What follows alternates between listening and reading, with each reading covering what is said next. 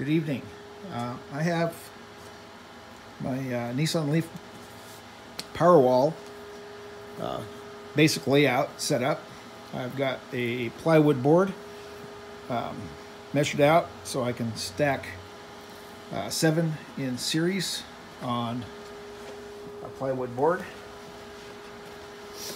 Got an extra one here just to do some fitting. Uh, Nissan Leaf battery packs come with short terminal connectors and part of the battery pack comes with long terminal connectors. Long terminal connectors fit perfectly with these laying down flat and then connecting them positive to negative or negative to positive in series and I can run seven in series for a 48 volt nominal battery pack for a hybrid or off-grid system. I like the Nissan Leaf uh, battery packs just because they're nice, nicely built and contained and easily mounted onto a board. And this is going to be my official uh, power wall that will get mounted onto the wall and connected to our 15 kilowatt uh, pure sine wave inverter. Our, our sine wave inverter is also a low frequency uh, version, which is rather bulky and heavy, but it will handle all the inductive loads that we have in our house because we are all electric here. Uh, we have no gas, so we rely on electricity for our stove, refrigerator, water, everything. And um, so that's why I opted for the low frequency inverter. Um, so it will not be in, included in the in the Powerwall like they do with Tesla. But just remember, a Tesla Powerwall uses a high frequency inverter, and those are not good for uh, high inductive loads. Um, good for lights and TVs and computers and things like that. Great. But if you need to power a house, Tesla Powerwall is probably not what you want if you're going off grid or your total um, if your house is completely electric and you need more than just lights. You have to cook, you need to cook. And so if you're going to be off out of power for a few days. So this is my prototype setup. And we're going to build uh, handholds into the plywood backing so we can lift it and hang it. And we're going to um, put a cover over the top I'm going to put a uh, contactor, contactor switch, BMS, and circuit breaker over here in this empty spot um, because we're doing uh, 7 cell series for 48 volts, not 8. And that leaves us room to put all of our little goodies to run each one of these walls. We can do a single level wall, which is a, a lower capacity, but would be suitable for short-term power outages if you didn't need to do a lot of high power um, needs for your house while the power's off. We could go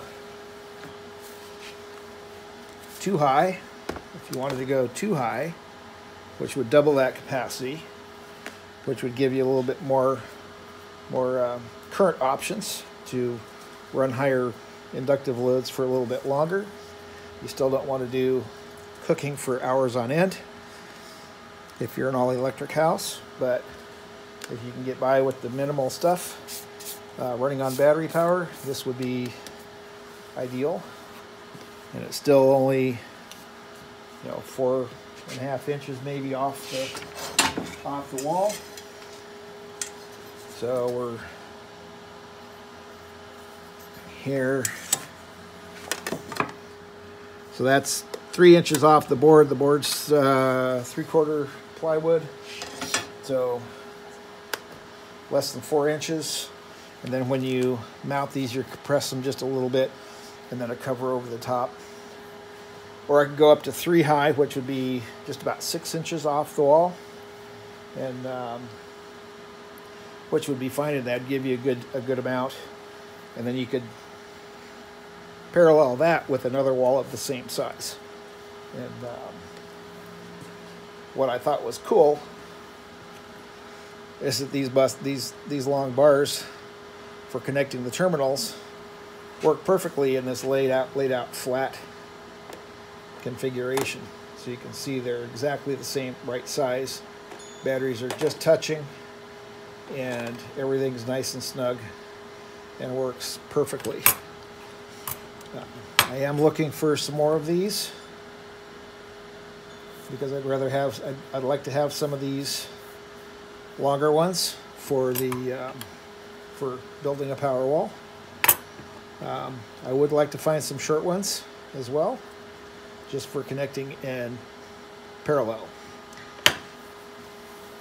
so what we have is I have 90 something modules from from two wrecked Nissan Leafs with low mileage, and um, they are they are first year. And what we have, so I'm going to move the camera here for a sec.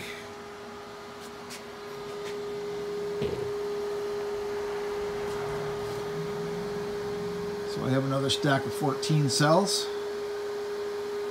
And I have a power pack here, and I have my constant current, constant voltage power pack, which runs off of this and, and charges the battery pack uh, to 8.3 volts, which with all the losses and everything, it's like 8.26 volts once we're off the charger and then it, it takes that down to uh, zero amps. Uh, down below, underneath, you can see some more cells that are still connected in their original configuration from the car and have not been removed and have not been used. And they're all still holding a good solid voltage and I've had these sitting here for a few years. And I have a few more cells underneath I also did a, a pack that has 14. Uh, two of these uh, are 48, each one of these is 48 volts, and then I can run these in parallel for about 100 amp hours here at 48 volts. And that's how I was originally going to do this, is do a bunch of these on a shelf and um, and just lock them up and block them up like that and that'll that'll work just because I have so many cells um, I'm not sure I'm going to actually do the power wall as a permanent thing but I may do these as a permanent I have oops, um, another seven here for 48 volts actually one of them is over at the other table so if you count them you'll see that there's only six but there is seven I have five here, and I have nine under the table for another 14. And I have another seven. So this one over here is actually connected to an electric lawnmower. And underneath over here are my uh, LiFePO batteries, lithium iron phosphate. Got a bunch of Calb SEs. And I also have a, a small batch of uh, Thunder Skies, uh, all 100 amp hour size. So form factor wise, these batteries are actually take up a little more space than the Cal Calbs do.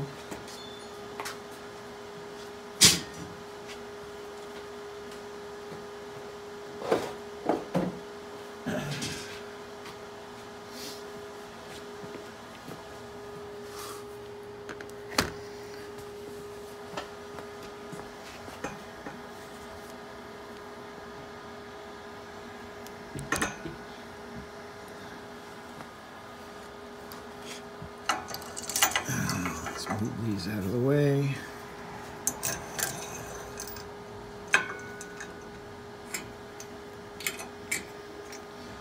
So these two are approximately 100 amp hours, and this is 100 amp hours here. So size-wise, my Nissan modules are fatter and wider to get 100 amp hours versus the block. You know, so you can do the same thing with these and lay these out and mount them to a board in series for 48 volts or whatever you want and then and then connect them just like this you could even probably use bus bars like this or just, just make your own. A little bit smaller form factor and still have the same thing. And that's how basically how thick your wall is going to be except maybe another inch and a half. If you uh, and this is just one high and this is would be like similar to two high here. So we're still under you know like three and a half four inches from from the wall out from the wall and, and you're good so either way um, I chose the Nissan Leaf modules because I think they're going to actually be a better cell than the uh, lithium iron phosphate. They also have a higher voltage um, per and uh, that's how I want to do this. So here in the next day or two, we're gonna, or I'm going to have these this uh, board cut out and these mounted to the board and have a BMS hooked up and we're to connect it up to the inverter and see what kind of power we can get from it and just kind of get a good good form factor. I'm to make an aluminum cover plate, aluminum piece that's to be just as big as this here, and um, and have it have it nice and covered. So it's not as nice as a uh, Tesla Powerwall, but it's a hell of a lot cheaper. And um, and this one we can configure to our own needs versus having to buy what Tesla offers you if that's the way you're going to go.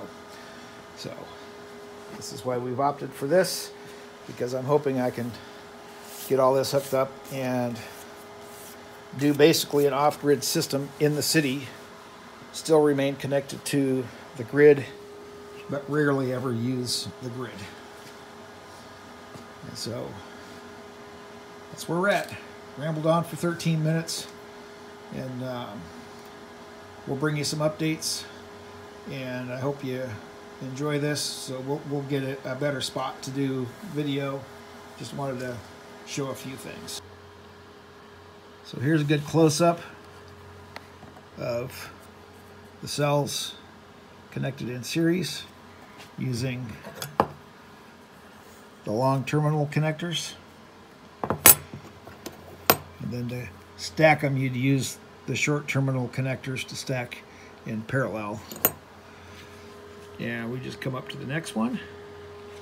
And then this one, where we're connecting across in series, I would make a a U-shaped copper um, terminal connector and put it in between. I wouldn't use one of these uh, flexible uh, cables. I don't want to use flex cables if I can help it anywhere in this except to run down to the uh, inverter. And so you can see how nice these just lay nice and flat and everything's nice and compact on the uh, leaf modules. And uh, so this power wall, if I do three high, it's going to be like 180 pounds um, with all the stuff on it. And um, so it's going to be kind of heavy. It'd be two for two people. So I may stick with one or two high. And doing one high would be fun just because it's really skinny and just kind of hides. And you could easily, easily, easily do this. And the other thing is if you have a garage, like we do, you could probably take a module. And let's kind of go on over here, take a look. Not the best light over here, but what the hell.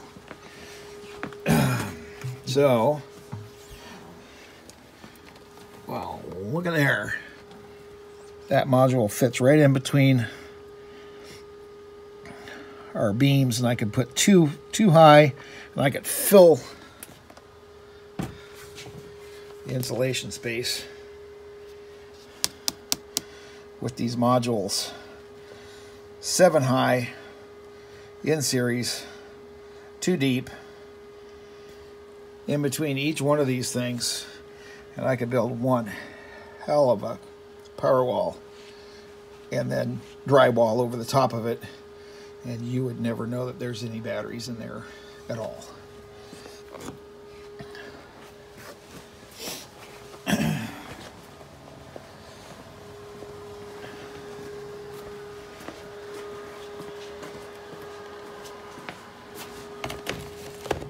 That would be the benefit of doing this in a shed or garage and just hide these batteries in the wall.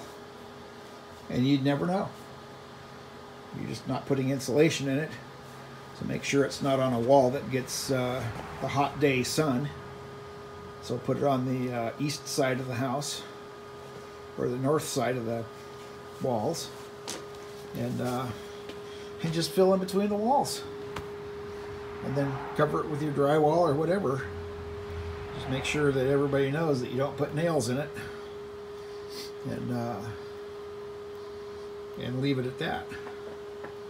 And uh, if you ever sell the place make sure you take them out.